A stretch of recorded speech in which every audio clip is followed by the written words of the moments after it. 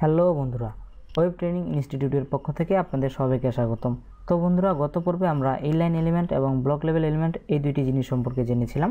আমাদের আজকের বিষয় হচ্ছে স্টাইল ইন এসটিএমএল তো বন্ধুরা এসটিএমএল এর ভেতরে আমরা যে বিভিন্ন কোড লিখে থাকি, বিভিন্ন ট্যাগ ইউজ করে থাকি এবং বিভিন্ন ট্যাগ যেমন ধরুন paragraph tag heading tag image tag এইসব যে ট্যাগের ভিতরে আমরা টেক্সট এবং কন্টেন্ট ইউজ করে থাকি, সেই টেক্সট এবং কন্টেন্টগুলোকে স্টাইল দেওয়ার জন্য আমাদের মূলত সিএসএস এই ল্যাঙ্গুয়েজটি ইউজ করার প্রয়োজন পড়ে।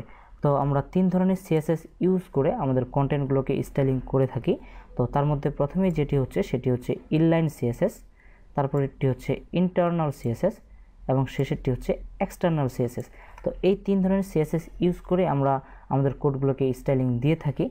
তো সবচেয়ে যেটি বেশি ব্যবহৃত হয় সেটি হচ্ছে এক্সটার্নাল সিএসএস এই সিএসএসটি ইউজ করেই বেশি আমরা কোডগুলোকে স্টাইলিং করে থাকি।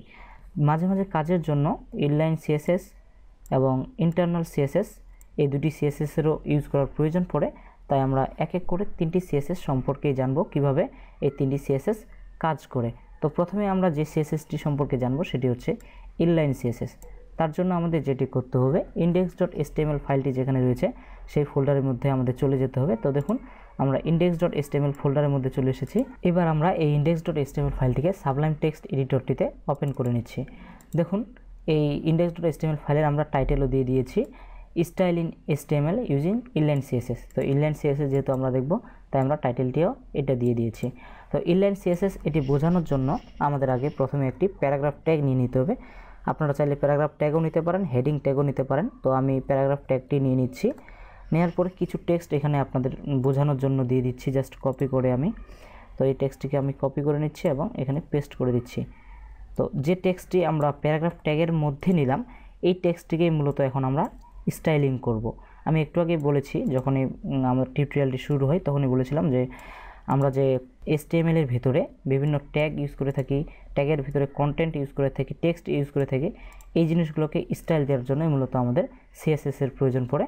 তো যে সিএসএসটি দিয়ে আমরা স্টাইল করব এই টেক্সটগুলোকে সেই সিএসটি হচ্ছে ইনলাইন সিএসএস তো দেখুন ইনলাইন সিএসএস কী করে ইউজ করতে হয়? তো এবার যদি আমরা এই পেজটিকে সেভ করি সেভ করে আমরা ইন্ডেক্স ডট এসটিএমএল ফাইলটিকে আমাদের গুগল ক্রোম ব্রাউজারে ওপেন করে ওপেন করলেই দেখব আমরা যে টেক্সটগুলো প্যারাগ্রাফ ট্যাগের ভেতরে নিয়েছিলাম, তো এখানে এগুলো শো করতেছে। এবার যদি আমরা চাই, এই যে টেক্সটগুলো আমরা নিলাম আমাদের ওয়েবসাইটে এই টেক্সটগুলোকে আমরা স্টাইলিং করব। অর্থাৎ আমরা এসটিএমএলের ভিতরে বি ট্যাগ ইউজ করে কী করতেছিলাম? টেক্সটগুলোকে বোল্ড করতেছিলাম। তো এই জিনিসটা আমরা এখন সিএসএসের মাধ্যমে করব। এই পুরো টেক্সটগুলোকে আমরা এখন মোটা করব এবং বোল্ড করব। তো এটি করার জন্য আমাদের ইনলাইন সিএসএস ইউজ করতে হবে।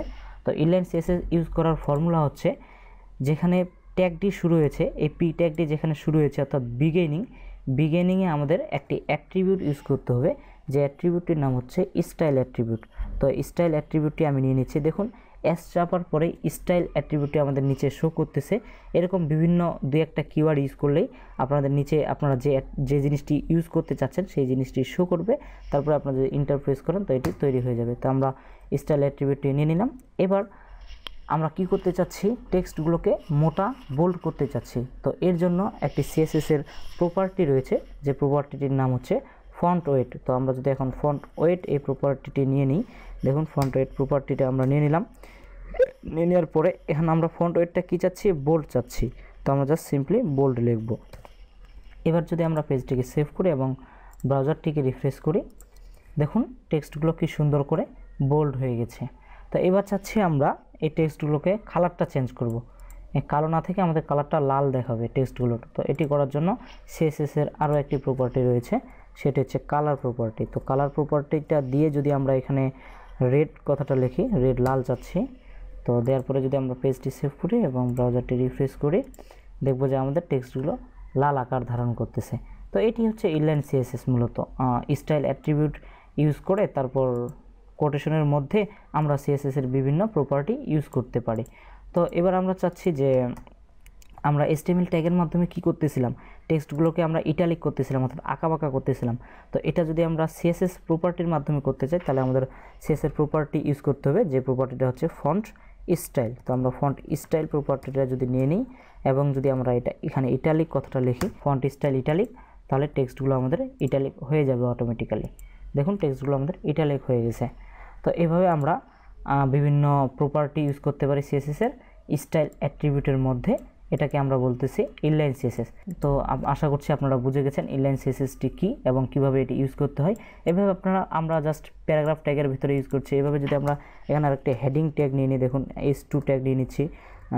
লিখতেছি দিস ইজ মাই হেডিং এবার এই হেডিং ট্যাগটিকে যদি আমরা স্টাইল দিয়ে থাকি, তাহলে স্টাইল অ্যাট্রিবিউটটি নিব। এরপরে যদি এটার আমরা কালার দিতে চাই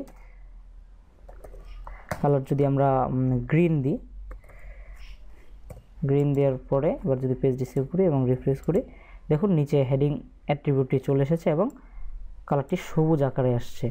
তো এটি হচ্ছে মূলত স্টাইল অ্যাট্রিবিউট এবং ইনলাইন সিএসএস তো ইনলাইন সিএসএস ইউজ করতে হলে আমাদের অবশ্যই স্টাইল অ্যাট্রিবিউটটি দিয়ে তারপরে সিএসএস এর প্রপার্টিগুলো উল্লেখ করতে হবে। তো আশা করছি আপনারা বুঝে গেছেন ইনলাইন সিএসএস জিনিসটি কি। তো আগামী পর্বে আমরা ইন্টারনাল সিএসএস সম্পর্কে জানব। আমাদের চ্যানেলটি অবশ্যই সাবস্ক্রাইব করে নেবেন। আমাদের টিউটোরিয়ালগুলো যদি আপনাদের কাছে ভালো লেগে থাকে, তাহলে অবশ্যই একটি লাইক দিয়ে দিবেন। ভালো না লাগলে ডিসলাইকও দিতে পারেন। অবশ্যই কমেন্ট বক্সে জানাবেন আমাদের টিউটোরিয়ালগুলো আপনাদের কাছে কেমন লাগছে। Thank you